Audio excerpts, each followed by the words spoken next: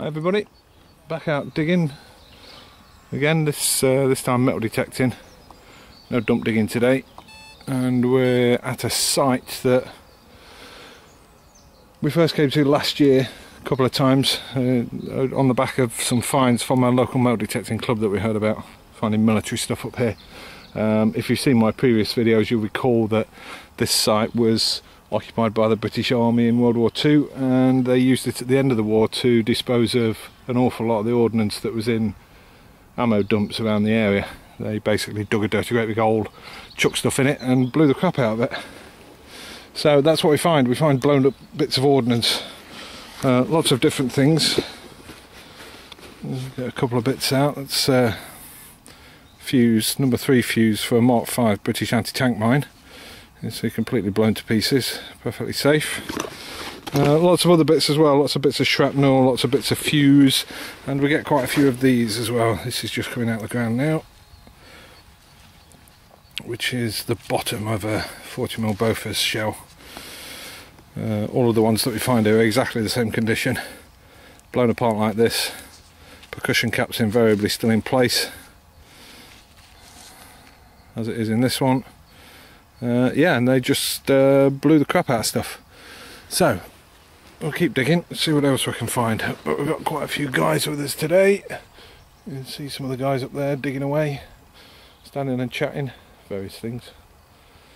Uh, but yeah, we'll carry on. Back in a bit. Had some decent finds. Nothing uh, out of the ordinary yet, but uh, plenty of stuff that has come from this site before this is another anti-tank mine fuse. Nice and intact. Most of these are marked along the top uh, and if we're lucky around the rim as well markings around the rim gives a manufactured date.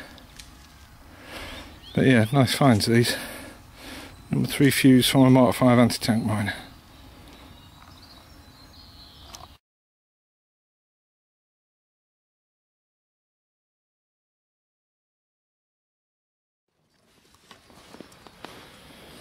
I'm ignoring an awful lot of detections around here at the minute because fed up digging up bits of uh, 40mm Bofors shell and other bits of cartridge.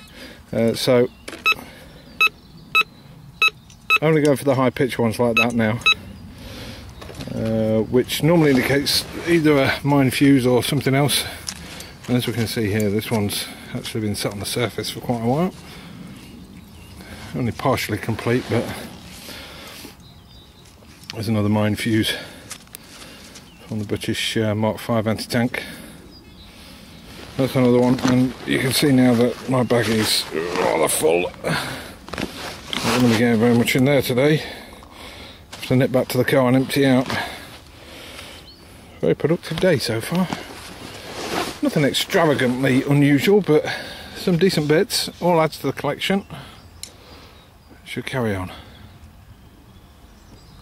So we've shifted location, we've come away from that field that we were on where all the 40mm Bofors bases are and the mine fuses, stuff like that. And we've actually come with the other metal detectorists on a paddock area because they've said that there's been quite a few cartridge cases coming up.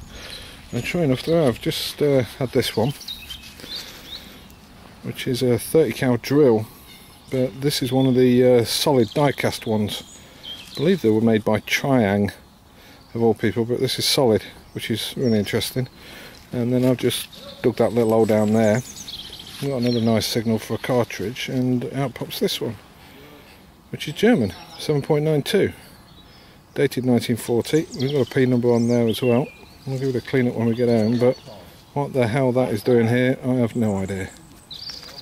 So, keep digging.